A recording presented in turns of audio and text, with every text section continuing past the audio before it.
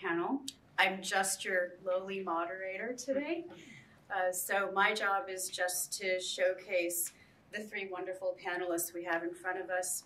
And uh, I'll announce the order.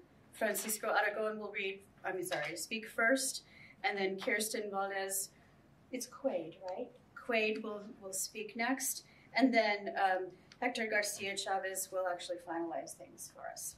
So I'm going to start by introducing Francisco, and I'll just get up and introduce each speaker as we work through the panel so that the, the biographies are fresh in your head. Good? Okay. Francisco Aragón is the author of two books of poetry, Puerta del Sol with Bilingual Press, and Glow of Our Sweat, Scapegoat Press, as well as the editor of the award-winning anthology The Wind Shifts, New Latino Poetry with the University of Arizona Press. His third full-length book of poetry, After Ruben, is forthcoming in 2020 with Red Hen Press. Among his distinctions are Outstanding Latino Latina Cultural Arts, Literary Arts, and Publications Award given by the American Association of Hispanics in Higher Education, which is the AAHHE, as well as being a finalist for the Split This Rock Freedom Plow Award for Poetry and Activism.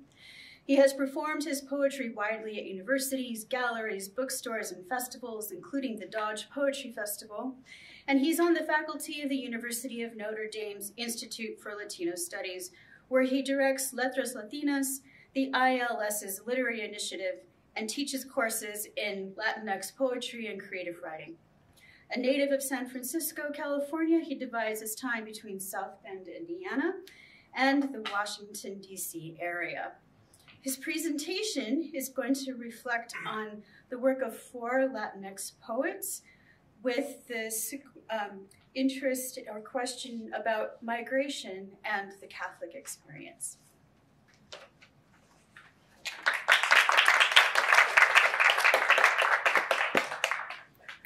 Thank you, Gina. Dana Gioia's essay the Catholic writer today was, for me, an invitation to consider how our work as writers could be described as emerging from a worldview he describes as Catholic.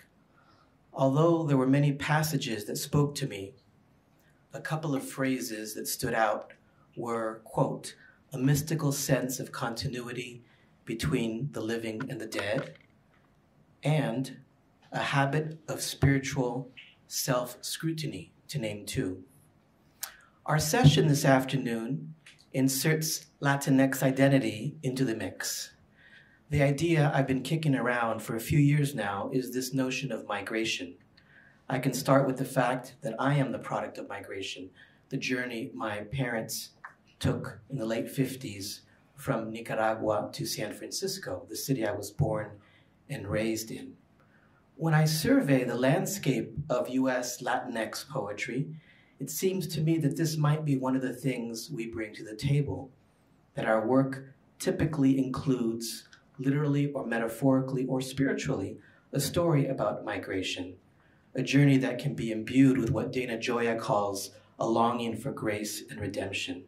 This afternoon, I just want to briefly introduce four Latinx poets. They are Natalia Trevino, Orlando Ricardo Menes, Gina Franco, and Oliver Baez Bendorf.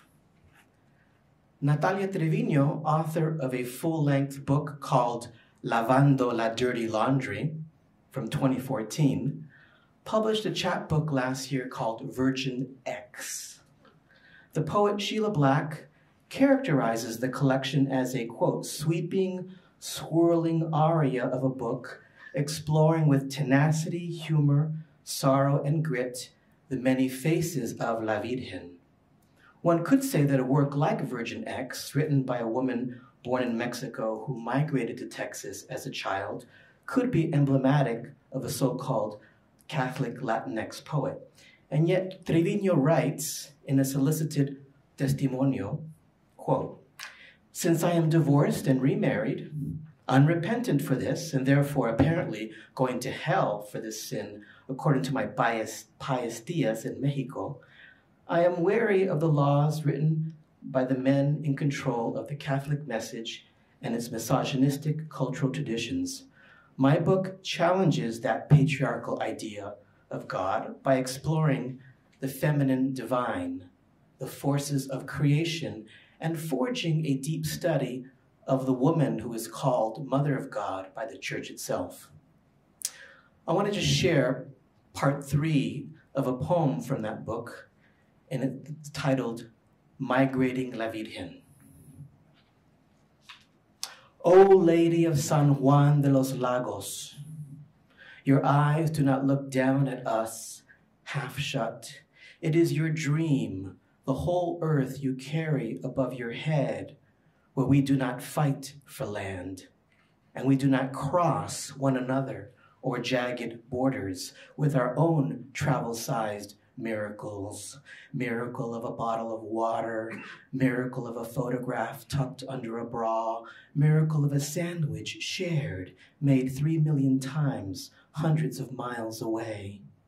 You want us to swim in the one ocean, El Mar, Maria, your populated effigy, great Mother Earth, as the dream, as the dreamer.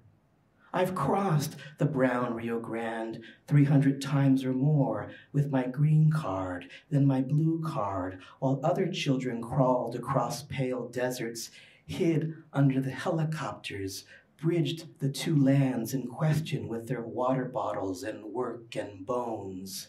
Madre de Misericordia, Mother of mercy, Misery, of Mercy.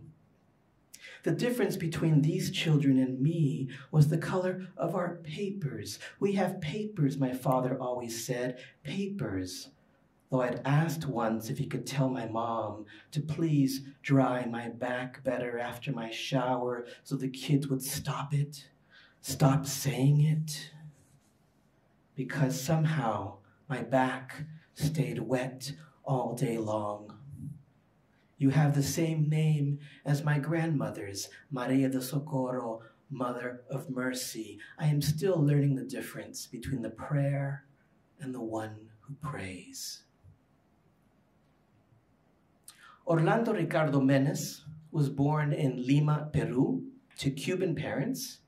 At age 10, his family migrated to Miami, and shortly thereafter to Madrid, Spain, where they lived for a couple of years before migrating back to Miami. Menes has lived in South Bend, Indiana for the last 20 years. His fifth book of poetry from 2015, titled Heresies, is titled Heresies.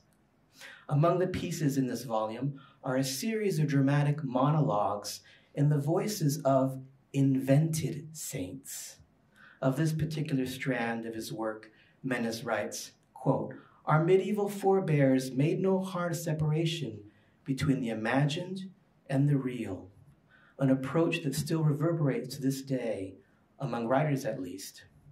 He goes on to say, I admit my poetics is one of transgression, yet I do not define this term in ways that suggest irreverence or, worse, violation. In my mind, the prefix trans suggests a crossing over, a weaving together, a joining of the past and the present, the historical and the mythic, the personal and the public. And this is one of his invented saints. Saint Dorothy, patroness of bartenders. Carouse in my cantina, all you drunkards, louts, good for nothings, vent your troubles at my altar of hooch. Confess with wine, rugged Riojas and Riberos, guzzle shots of faith, draughts of hope, charity's highball.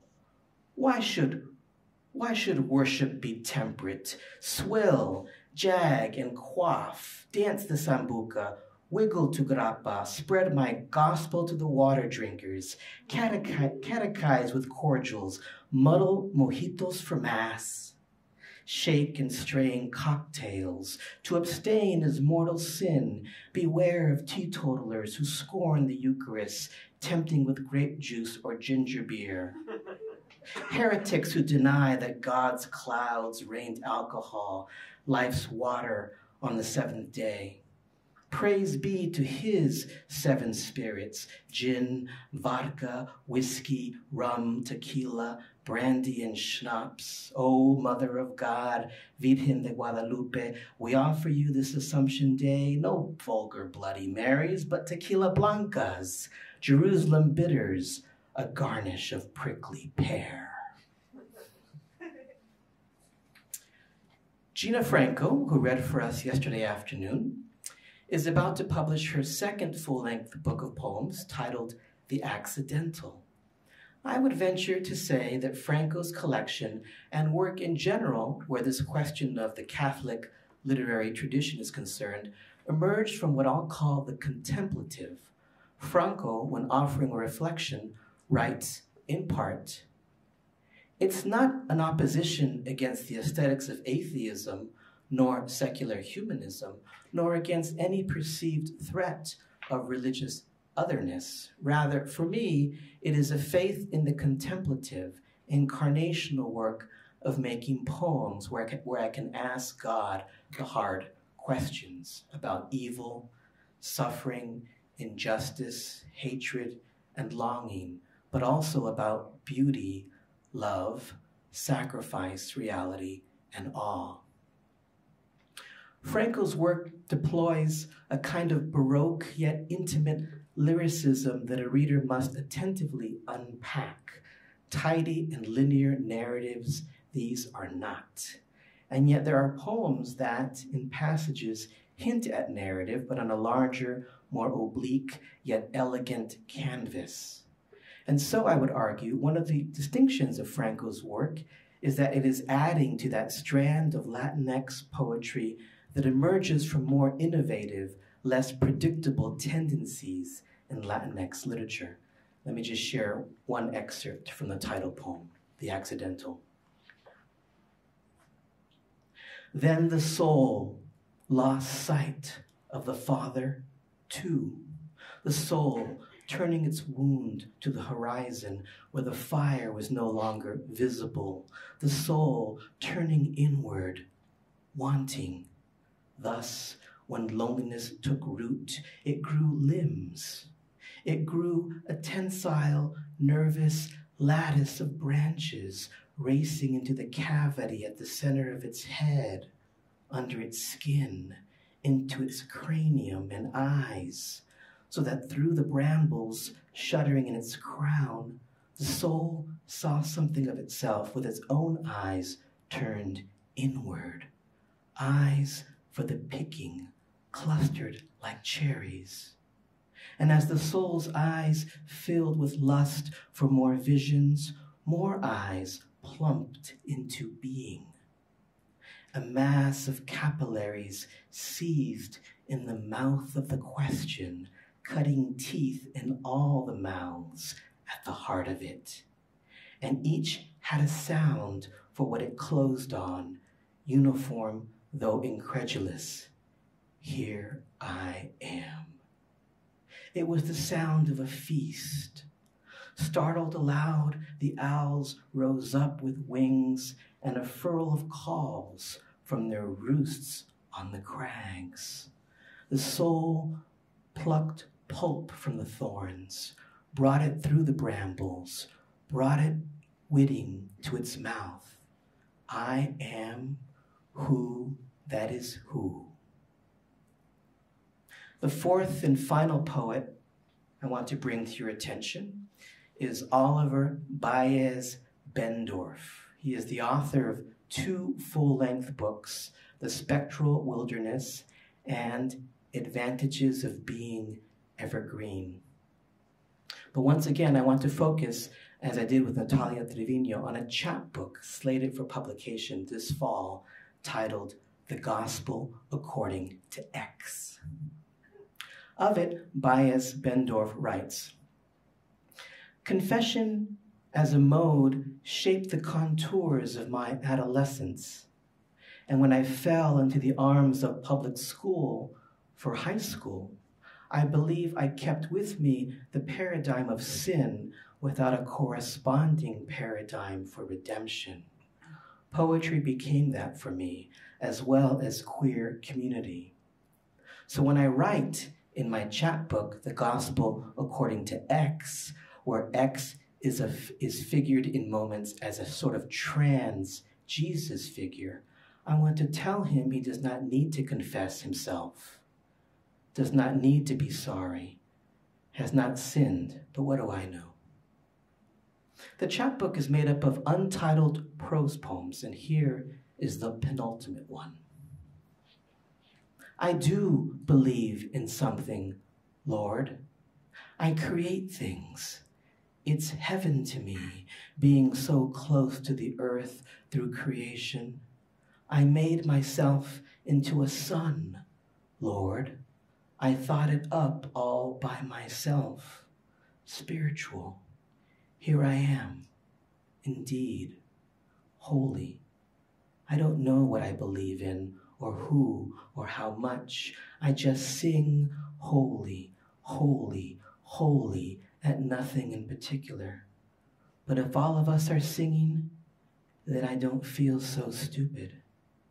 Is holy, is together, is forgiven for the sin of being a body. Holy, I still love everybody. Orlando Menes's comment about the prefix trans suggesting a crossing over, a weaving together, a joining of the past and the present, the historical and the mythic, the personal and the public, is useful here, I think, not only in discussing this Latinx poet who identifies as transgender, but also when echoing my earlier remark about migration, whether taken in a literal sense or metaphorical. Thank you.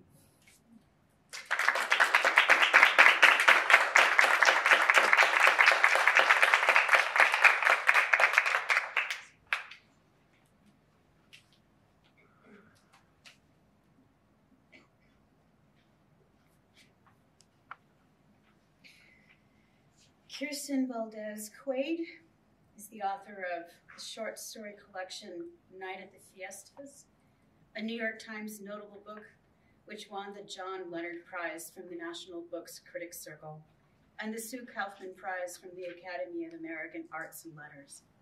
Kirsten is the recipient of a Rome Prize from the American Academy in Rome, a Rona Jaffe Foundation Writers Award, and a Stegner Fellowship.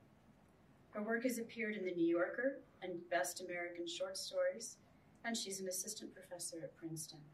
And she has a beautiful story for you today about how she got started as a writer.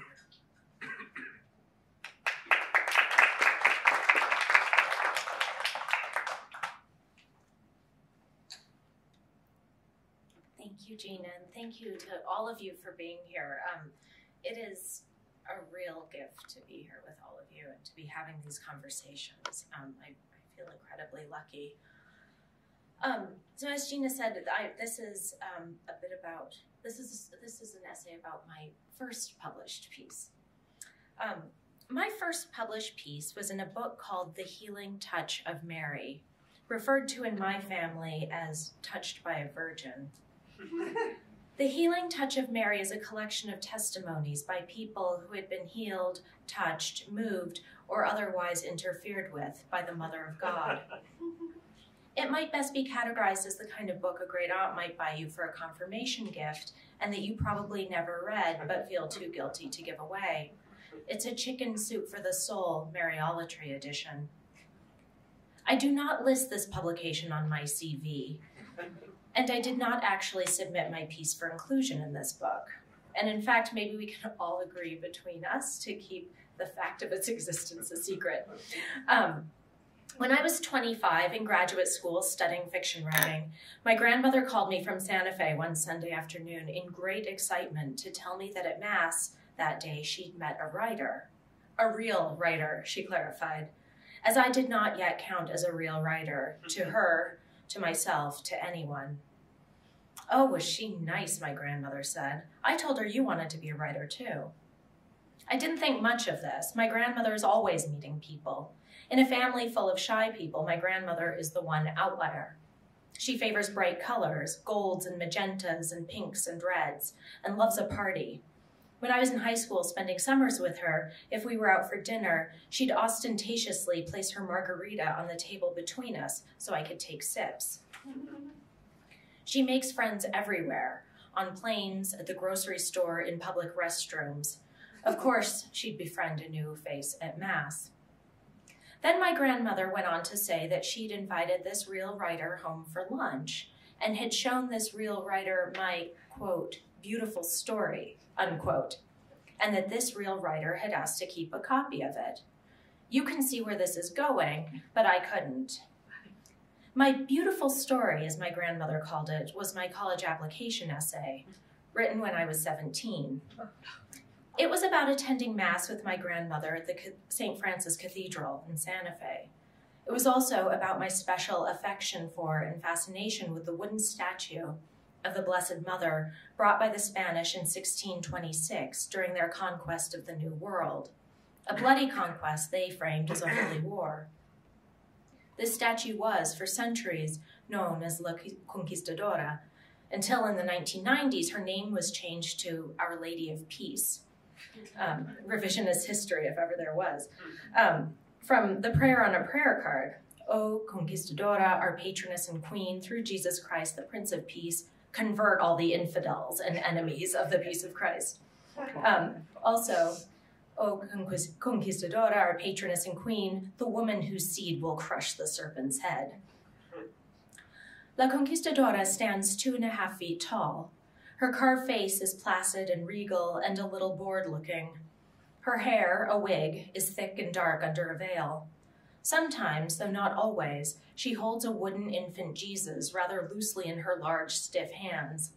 He has to be pinned to her dress, and the startled expression on his face reflects his understanding of his precarious position. La Conquistadora is the oldest continuously venerated image of the Blessed Mother in the United States. She lived in Santa Fe for 50 years until the Pueblo Revolt in 1680, when the Pueblo people retook the land that had been stolen from them by the Spanish. The remaining Spanish settlers fled with the statue. Thirteen years later, the fight was on again. Don Diego de Vargas led the reconquest of Santa Fe and returned the statue to what he proclaimed was her rightful place. She is beloved in Santa Fe, Every June, she's paraded through the streets to the Rosario Chapel where she stays during the novenas. She has an extensive, extensive collection of valuable jewelry, gem encrusted crowns, turquoise and silver squash blossom necklaces, and an elaborate wardrobe of over 200 gowns, sewn or commissioned over the centuries by devoted parishioners. One of these dresses was a gift from my grandmother. When I was 11, I went with her to choose the material a shimmering pink gold paisley lame, exactly the fabric my grandmother might choose for her own gown if she were to have one made. From the time I was little, whenever I visited my grandmother, we made a point of going to Mass together and paying a special visit to La Conquistadora and her chapel. We'd drop quarters into the metal box near the bank of candles, flickering in their red glass holders, and then light new candles of our own. As I prayed, I would feel the old childhood anxiety that I might leave someone out. And gradually, I would become aware of the sounds of the church around me, of a heavy door closing at the back of the cathedral, of other people's steps, of my grandmother kneeling beside me, of my own heartbeat. I'd feel that swelling sense of connection to those who'd prayed to her before me, some of them my own ancestors, and I'd be struck by the vast, untouch- untouchable enormity of history and of the heavens and of God Himself. After I wrote this essay, I gave my grandmother a copy because I was proud of it and because I wanted her to know what it had meant to me to attend church with her. I gave it to her because I knew she'd love that I had written about her and church. And if I'm perfectly honest, I gave it to her because I knew it would further cement my position as the favorite grandchild. Um, maybe don't show that essay to anyone anymore, I said on the phone that afternoon when I was 25. It's embarrassing. What's embarrassing about it? My grandmother said. I think it's beautiful that you come to church with me. I wish the rest of my kids would. I wish you'd do it more. I forgot about this conversation until about a year later when I was visiting her. You won't believe what came in the mail, my grandmother said, thrusting a shiny, shining hardcover into my hands. I got you published, Mijita. and indeed, there it was, my college application essay on page 39 of The Healing Touch of Mary.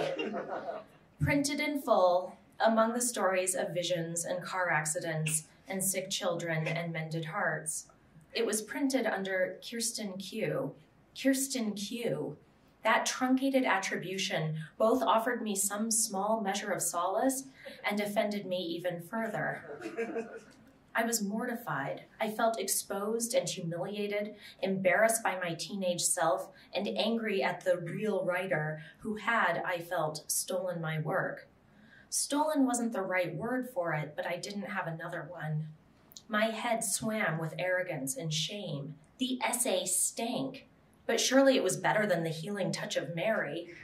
Thank goodness the woman didn't use my full name, but why the heck didn't she use my full name?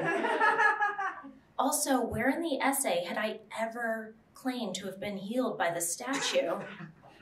I recognized that this scenario was pretty funny, and it also seemed to me then absolutely tragic, and I wanted to laugh and to cry. It was my first understanding of how something I'd created could take on a life of its own, could speak for me in ways I didn't want to be spoken for. As I held the book, sitting under my grandmother's elated, expectant gaze, I was in the tricky situation of being simultaneously very, very annoyed with her and also truly touched by her gesture. My grandmother loved that essay, loved that I'd written it, loved the portrayal of herself as someone who was instrumental to her granddaughter's faith. One of her great sorrows is that none of her children had remained in the church, and so my religious bent was a small victory. She knew how much I wanted to be a real writer, and she was pleased with herself for getting me published, for managing so easily to do for me what I had not yet managed to do for myself. It didn't occur to my grandmother that I might not be thrilled to show up as Kirstin Q in the pages of Touched by a Virgin. It didn't occur to her that her granddaughter could be such a tremendous snob. How could it? How could she guess at the intensity of my secret ambitions? First, she was under the impression that I was a nice girl. Second, my grandmother is not herself a reader, which hasn't stopped her from offering me quite a bit of publishing advice over the years. When you finish your book, Hita, you should tell Oprah. Let's set aside for a moment the ethically problematic decision of this real writer to publish without permission and without proper attribution the work of another person. There is a reason writers generally do not hire their grandmothers to be their agents. My college application essay, while written with great feeling and earnestness, piles and piles of earnestness, should never have been published. It's terrible and it's saccharine, and like most saccharine writing, it is dishonest, or at least not entirely honest.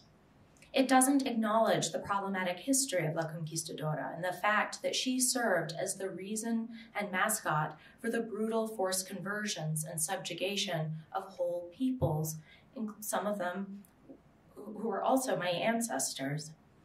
It doesn't delve at all into my conflicted relationship to Catholicism, to a church that I love, but that so often feels inhospitable to me as a woman, as a queer woman, as a feminist and it doesn't explore in any meaningful way my relationship with my grandmother, which, while being one of the most profound joys of my life, is also complicated. Because of these omissions, my essay was perhaps less honest than the testimonies offered by the other people in the book, who, I imagine at least, really did feel Mary's arms around them after the car wreck. Many of these testimonies are incredibly moving. These other recipients of Mary's healing touch weren't trying to be writers and hadn't created some teenager's idea of what an essay should be. When I wrote this essay at age 17, I was already beginning to think of myself as a writer, already trying to imagine what it might mean to live a writing life. My, ide- my ideas of what constituted a writing life, however, were pretty vague. I didn't know any writers. My mother was the first in her family to go to college. I was a big reader, yet my models were either Anne of Green Gables, who did not exist, or Virginia Woolf, for whom things didn't for whom things didn't turn out so well. Eight years later, when that essay found its way into print, I was in graduate school, learning about the craft of fiction in earnest. I had a clearer sense of how writers lived in the world, having finally met some living, breathing ones.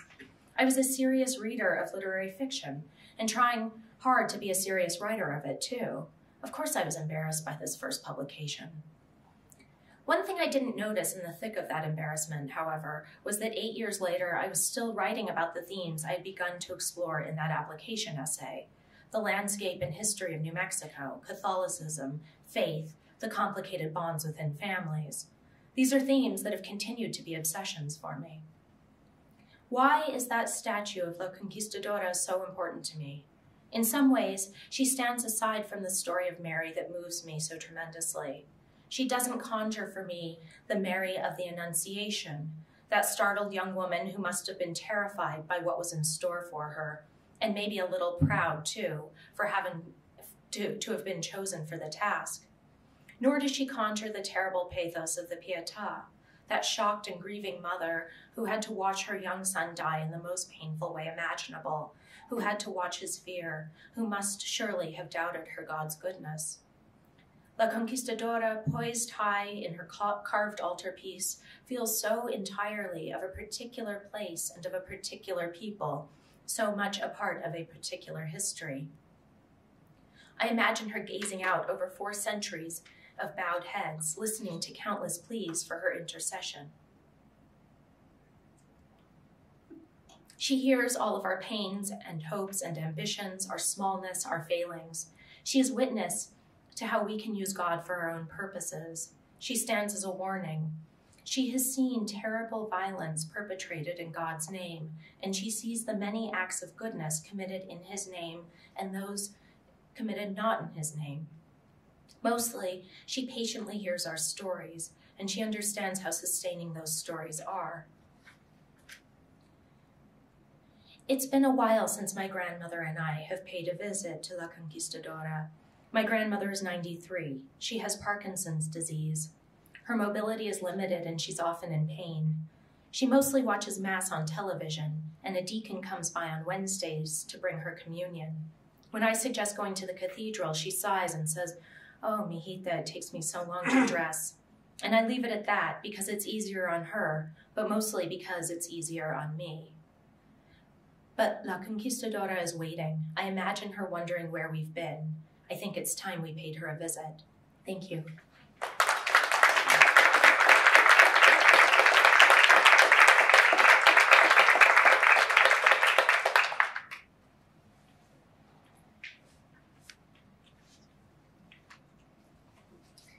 And our final panelist, Hector Garcia Chavez. Um, I'm going to say up front, my father uh, really shamed us out of speaking Spanish. I grew up with Spanish speakers, but I am not a Spanish speaker, so I'm about to possibly butcher the most beautiful language on earth. So just bear with me. Thank you. Hector Garcia Chavez is a senior lecturer, a Loyola Sujack master teacher, and was recently awarded the Ignatius Loyola Award for Excellence in Teaching. He is program director of Loyola's Latin American and Latino Studies and teaches courses on the Spanish language, Latin American Iberian literature, Latin American studies, and queer theory. His research interests include masculinity studies in Mexican literature and film, transnationalism and identity in 20th century and 21st century Latin American and Iberian literature, and U.S. Latinx and gender studies. He has most recently given talks on Mexican transnationalism and queer studies at the ACLA, Universidad Iberoamericana, and the UNAM, Universidad Nacional Autónoma de Mexico. He is presently working on a book project titled Propaganda, Escándalo, Insulto y Provocación, los comportamientos y fenómenos Emotivos de la es- Esfera Pública It's a long title. with Doctora Ana Maria Serna at the Instituto Mora. In his own words, he says that his in his presentation, I will be focusing on Chicago popular Mexican religiosity, matriarchy, and La Virgen de Guadalupe. My three showcase Mexican US Latinx writers are Raimundo Salazar, author of The White Rhino, a Latino English teacher's blog, Anne M. Martinez, Catholic Borderlands, Mapping Catholicism onto American Empire, 1905 to 1935, and Elaine A. Peña, Performing Piety, Making Space Sacred with the Virgin of Guadalupe. And as I understand it, these are all speakers from the Hank Mexican Conference that you may be addressing. Exactly. Uh, and then he says he's going to finalize this presentation, um, focusing on how contemporary U.S.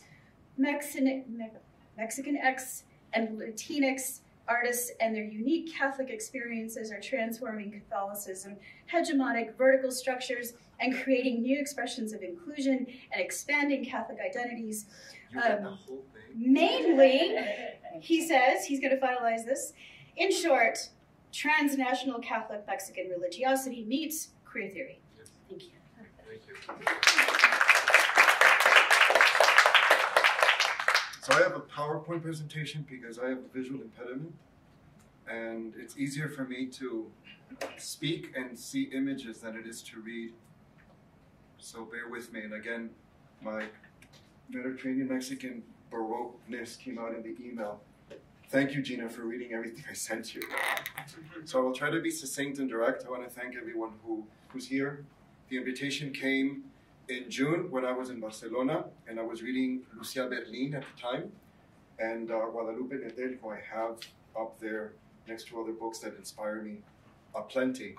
So I have lots to share. I'm trying to be as succinct and focus on what happened. Um, it'll be five years now with the Hank Center's Mexican Catholic Conference, which was focused on the Mexicans. So again, surprise, I have a long title to share with you.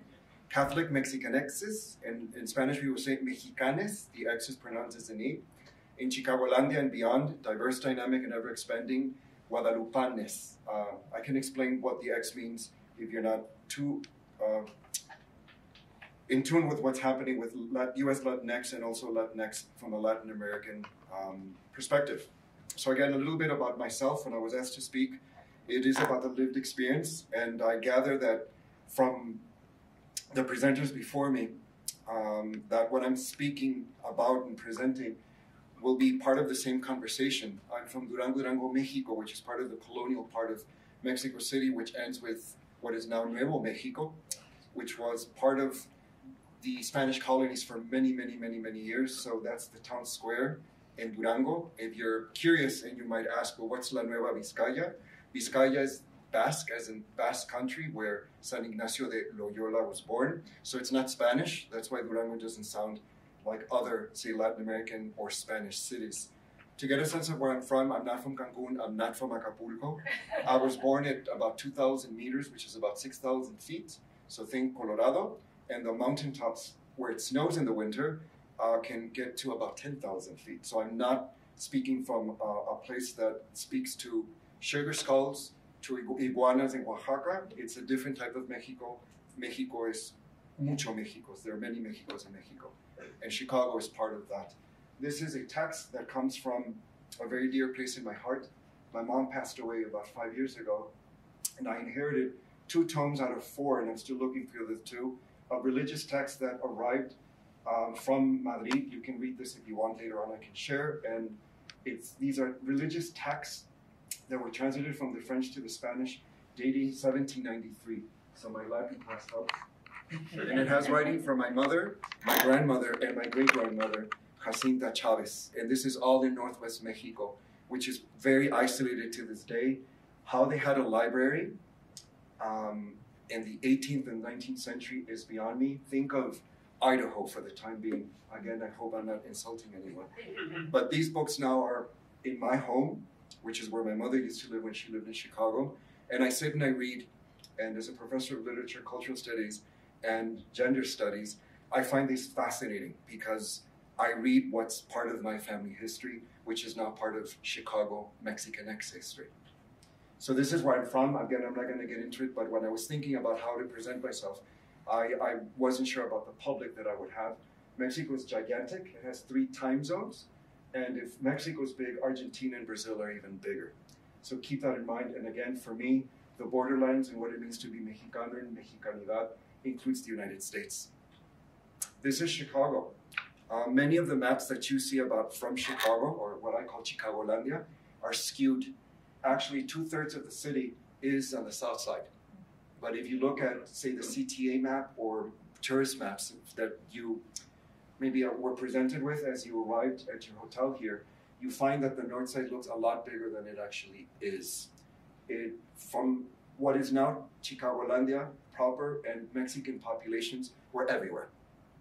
Everywhere. The city has maybe, depending on who's counting and how it's being counted, I would say close to 4 million. Some might d- debate that and say it's closer to three. I think it's closer to four.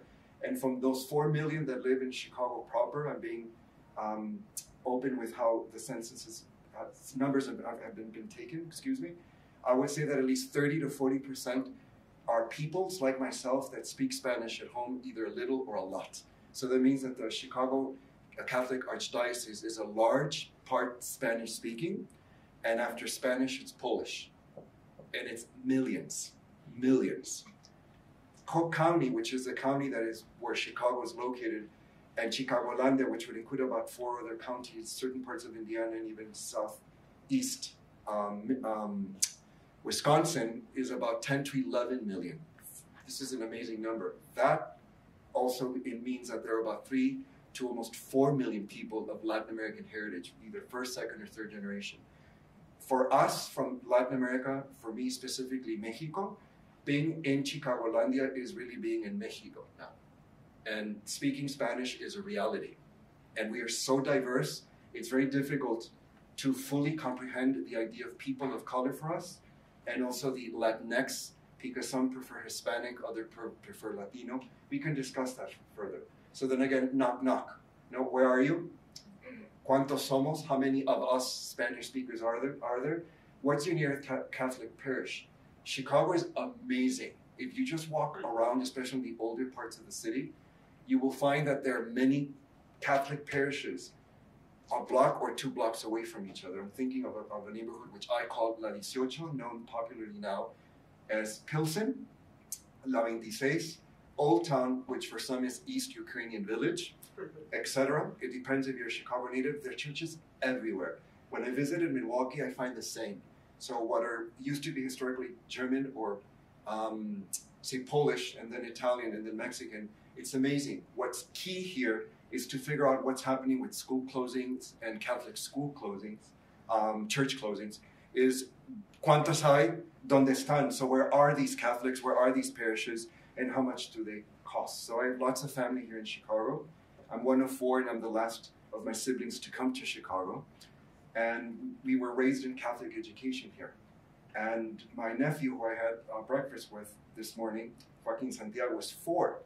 And I asked how much they're paying for his Catholic education. Right there, next to Midway.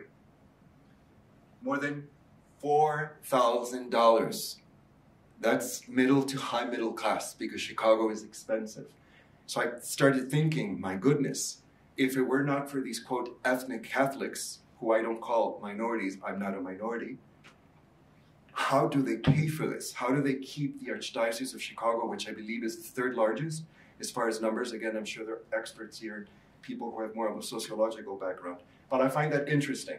We are the present and the future of Catholicism here in Chicago not just Spanish, it's Polish, it's also the Filipino, the Central American. We're very diverse. So part of what I do as a professor here is trying to speak about stereotypes open, openly.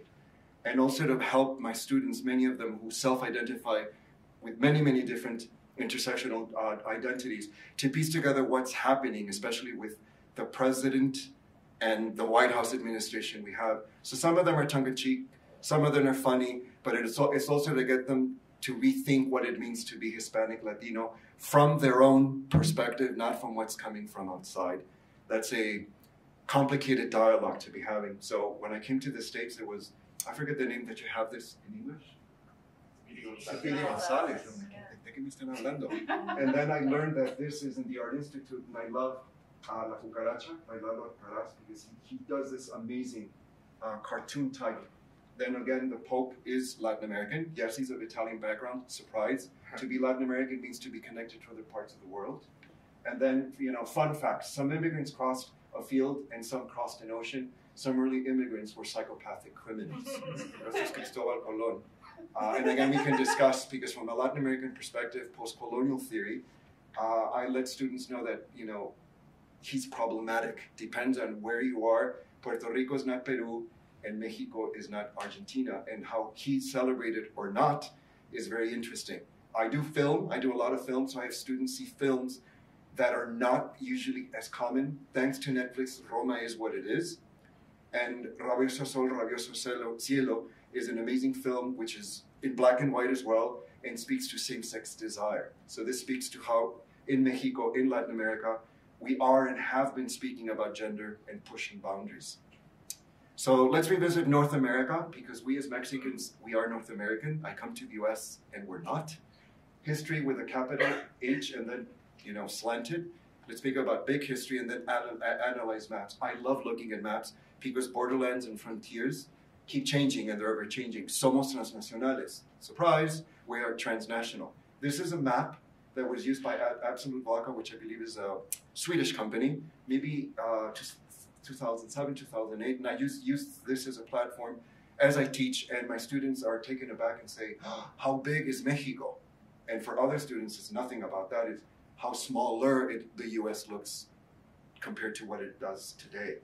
And as you can guess, this Absolute Vodka was not part was not very successful in the U.S. and very successful in Mexico. so again, what I'm gonna hopefully this link will work correctly. Some of what I try to do is not in a condescending way, but also trying to realize that Tejano, for example, and Southwest um, peoples that are mixed as well, it's a different type of conversation, and you'll understand why I chose Carmen and this is part of an HBO um, series. So I hope this works. If I click, I'm gonna help the volume. Works. Checked.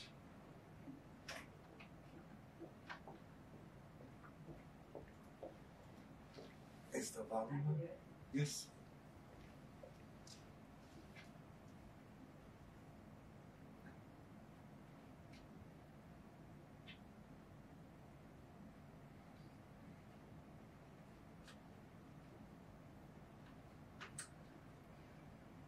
So that should be.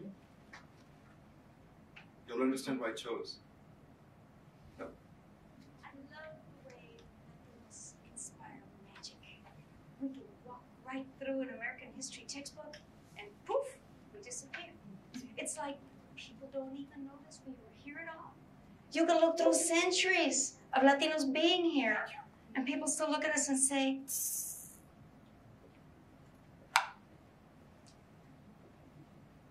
I love the way Latinos inspire magic.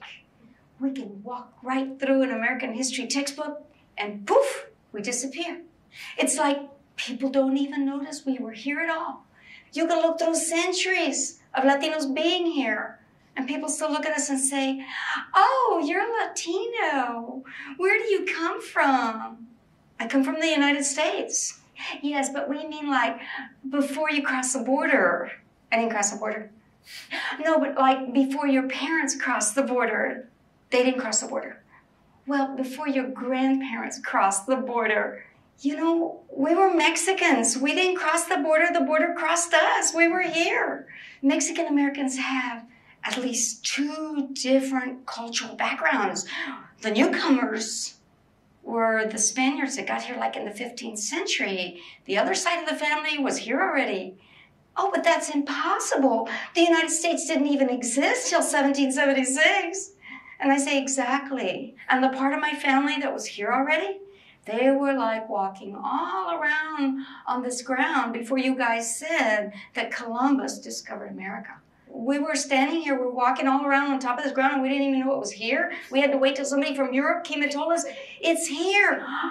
Oh my goodness, thank you so much. I'm so glad you discovered us. We didn't know we were walking around on top of it, didn't even know America was right here below our noses. We didn't know it was here at all.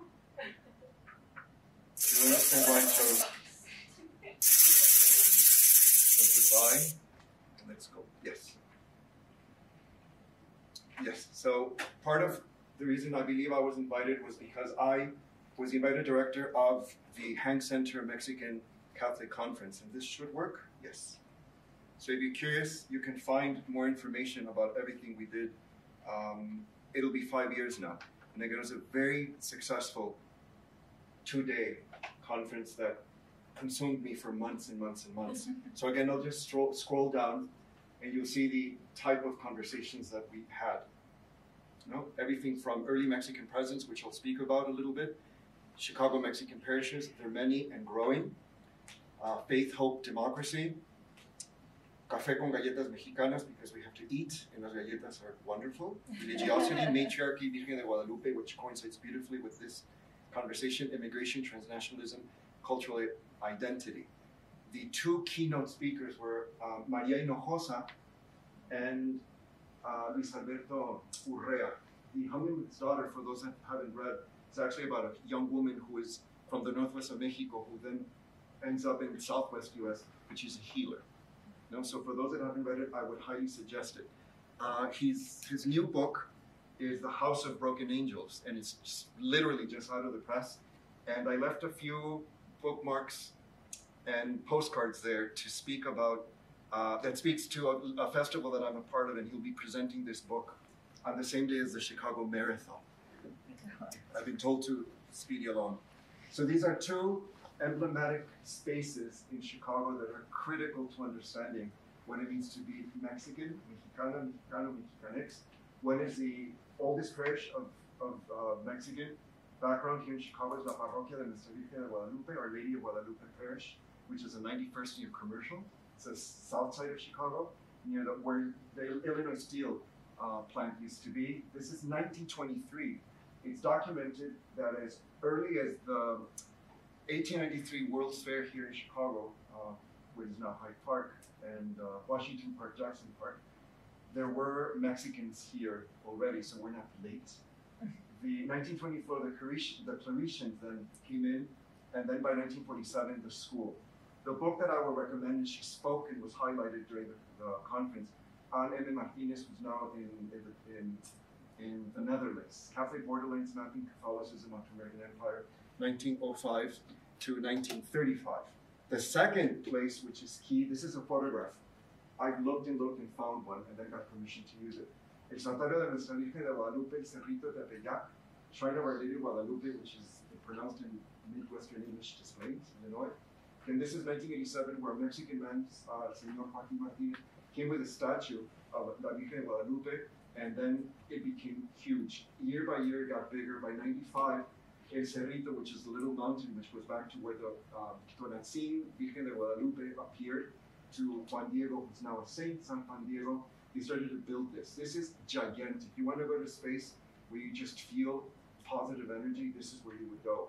By 2013, it was finally recognized by the past Cardinal Francis George that this was going to be a holy site and that the first rector, Marco Mercado, would then be the one that you know would oversee.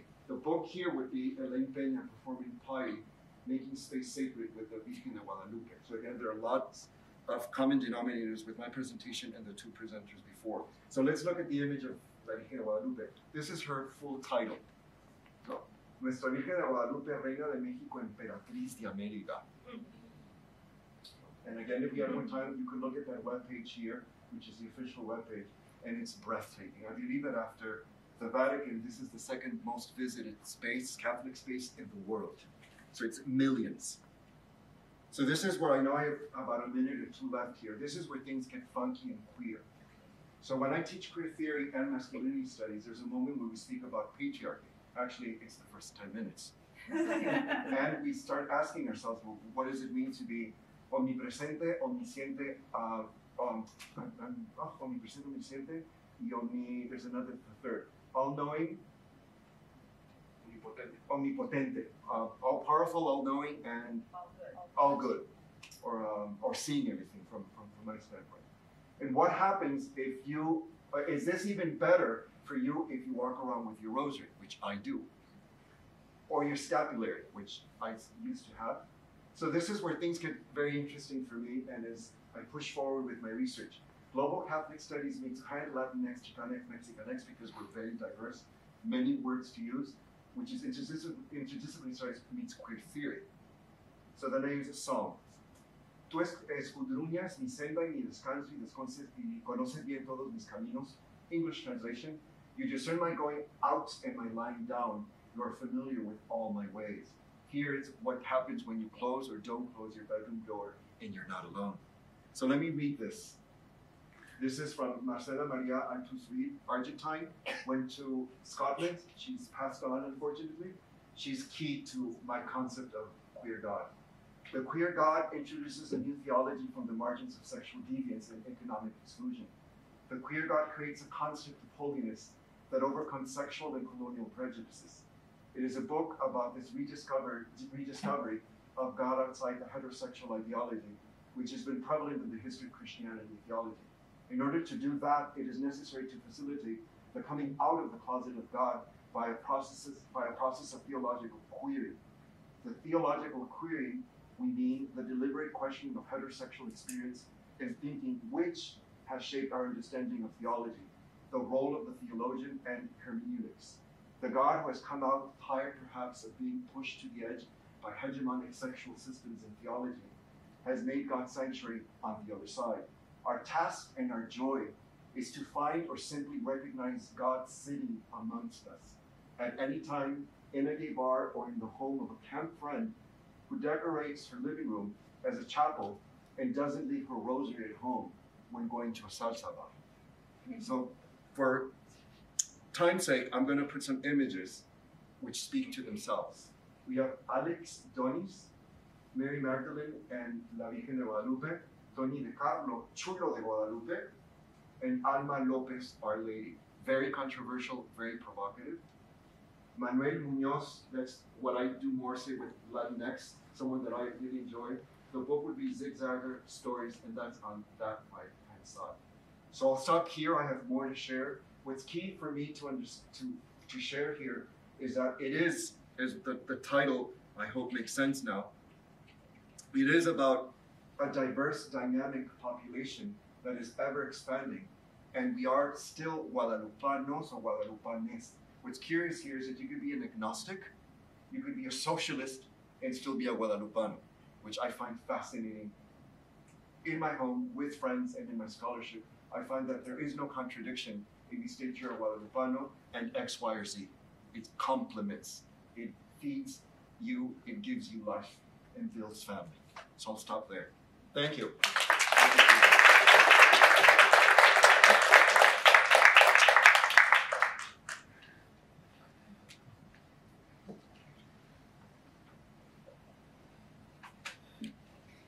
Uh, I was asked to prepare questions for the panel, but we are down to.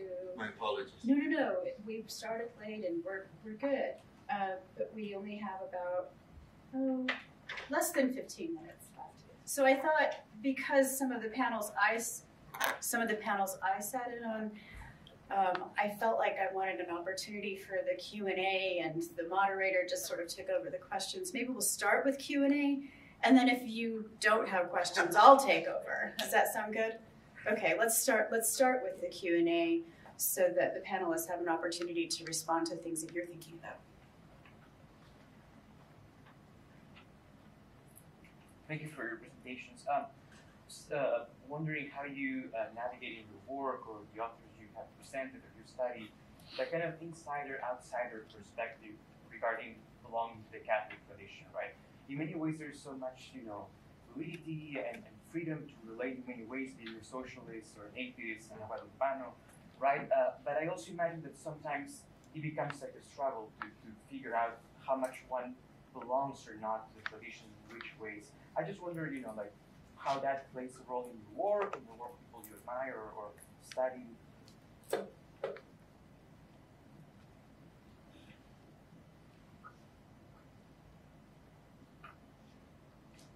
I'll say something.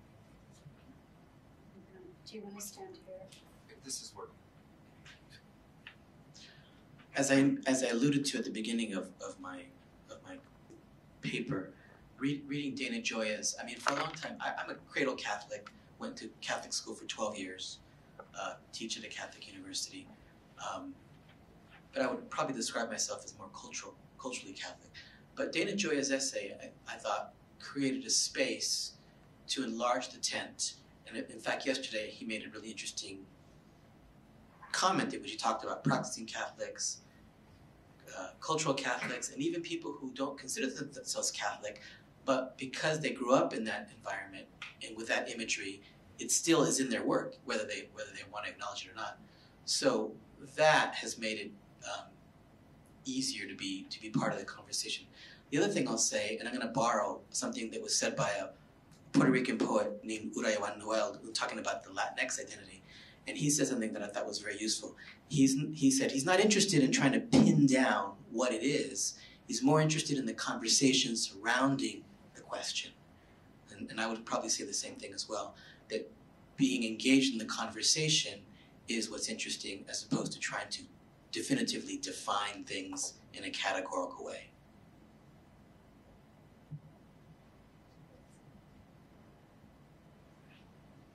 I mean, I guess just on a very basic level, as a writer, um, I I'm always a little bit on the outside. I think I, I think a lot of writers are, um, and certainly, you know, from the time I was little, we we moved around a lot. I was my family was really itinerant, and so I was constantly an outsider in the communities we moved into, and so that that feeling of being feeling a bit outside of things, or, or you know, if I am inside, I, you know, that, that that question of whether I'm in, an insider or outsider is always there for me, and um, you know, it, in in all aspects of my life, and also in my identity as a as a Catholic, it's it's always there. I think it's generational from my from from what I piece together and from what I read. I write, I'm someone that's very visual, so reading all the books that inspire me. I find that even certain individuals who you would think would not be as open to what we would say fluidity, no, la, una fluidez de, de identidades, say a 70, 80 year old woman or a 70, 80 year old man, might be your grandfather, might be your grandmother, tu madrina, tu padrino. If you do open up a dialogue and you do just discuss what it means to be X, Y, or Z, it's transforming, it's changing constantly. Uh, I sometimes find more resistance from certain people who are questioning less what it means to be even just a human being or a, or, or a citizen of, of a country like the United States or Mexico. If they question less, then maybe they're more drawn to a certain type of authoritative figure.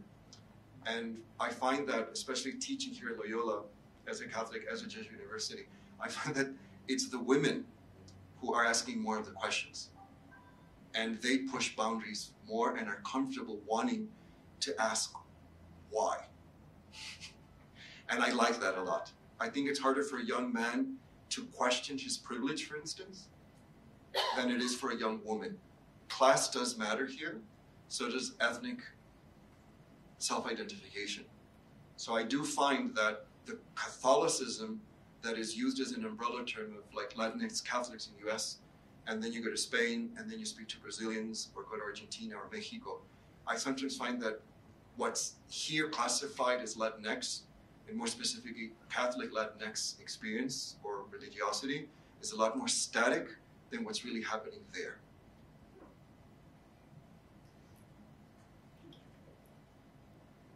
So one of the things that I think is uh, really interesting about this panel is that Latinidad is a, a thing only within the U.S., right? And um, but it's, it's this construct that we've had to do because because that's the way we're lumped. Um, when when Latin America is so crazily diverse in terms of the and what's interesting is that you know if you, if you talk about Latinidad within Catholicism, right? So Latinidad within American Catholicism, that's kind of an interesting thing because um, are we are we what are, are we an, an exotic component adding spice to the life of American Catholicism? Are, are we an essential like you know? And, and then that to me seems to mirror a lot of the conversations about who are we within the United States, right? As, as the U.S. is changing demographically, um, are, are we a minority group? Are we a group at all? Are we an essential component? Um, and so I was wondering what, in, in your work, in your writing, as you grapple with these issues of, of your identity, your Catholicism, your Latinidad, um, how do you make sense of any of these things? I have to think. Poquito más. Sorry. I'll start by just saying a little bit about my institution. Uh, the, the 2019 is the 20th anniversary of the Institute for Latino Studies at Notre Dame. And the narrative they offer 20 years ago was surveying the landscape of the US, the evolving demographics, and realizing that the future of the Catholic Church in the US is Latinx. And so Notre Dame made the decision to respond by creating the Institute for Latino Studies because they like to think of themselves as, as one of the you know premier Catholic universities in the U.S.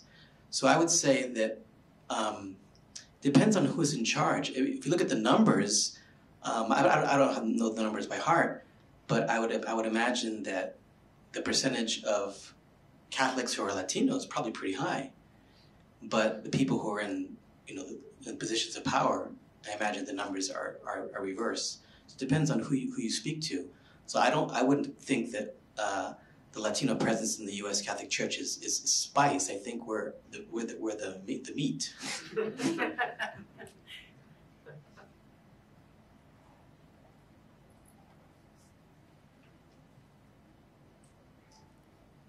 I don't have a ready answer. Good question. Um, from a Mexican standpoint, and being me- me- Mexican centric, slightly, poquito, con orgullo. This year is the 80th year that commemorates the exiled refugiados republicanos. This is a 20 to 30,000 that fled Franco 19, when that regime, following Mussolini and Hitler, Franco. The Mexican government at the time with uh, Lázaro Cárdenas was a socialist left leaning. Uh, if you look at US history, 1924 is the year that the US government decided to have quotas by nation. Certain countries were in, and certain countries were out. Back then, in the 20s and 30s, certain countries from the Mediterranean, including Italy, was not they were not seen as favorable immigrants. Eastern Europeans, which was code for maybe Jewish, Ashkenaz. So the Mexican government at that time, by 39 with Lázaro Cárdenas, thousands, many of them were left-leaning Segunda República, meaning they wanted women to vote. They wanted um, educación laica, lay education, not religious education. So they were pretty revolutionary. The Mexican Revolution had happened. Mexicans had been thinking about that, the intelligentsia. So you have in Mexico, you know, people who are part of, say, La Iberoamericana, which is a Catholic institution, which have the sons or daughters or grandchildren of these individuals who came from a different tradition. I'm not sure if I'm answering your, you know, complete question here, but thinking of that specifically, we celebrate that diversity, if you want. But everyone's still just Mexicano. Are you Lebanese like Carlos Slim? Está bien. So I think we're less caught up as in comparison to the United States. I think there's a lot that has to happen here. And again, as I mentioned before, I don't consider myself a minority. I speak the second most spoken language in the world. But it depends on who's in power and who's speaking and who's publishing. You know, it's amazing how when we go from one space to the next, you're, you are who you are and who you're perceived to be. You know, so what languages do you speak? Or you're assumed to speak because of your last name or your appearance.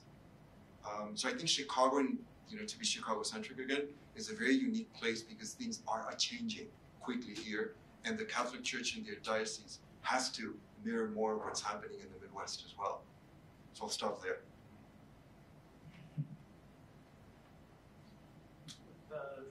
revolutionary and beautiful concept of the queering of God. How do you, how does a person, or how do you notice people experiencing love from God or the church in that embodiment? you also spoke of that. You have poets who are speaking to that. I'll speak to what happens in the classroom, I guess, and students.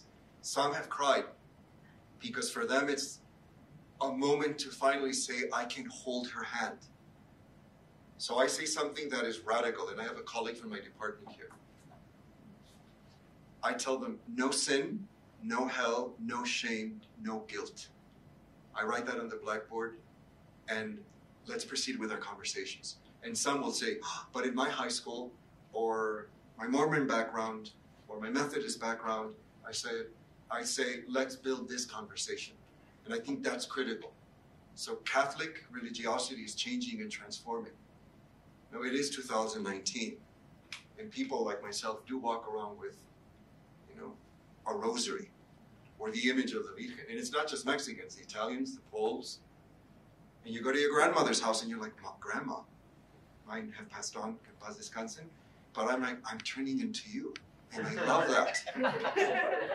because then, no, but for the younger generation, I think, call them millennials or what you want, I think they're more open, period. But some of them are faith based, some of them do want a Jesuit education, a Catholic education. So I think that's critical as well. This is the history or histories. But I think with desire, love, intimacy, it's taboo subjects for some. But we have to explore those. And we have the authors, the experts here. Just to say we're at time, so I'll let you respond and then we might have to close. Um, I'll just briefly say the, the book I'm publishing in, in May called After Ruben is a reference to Ruben Dario.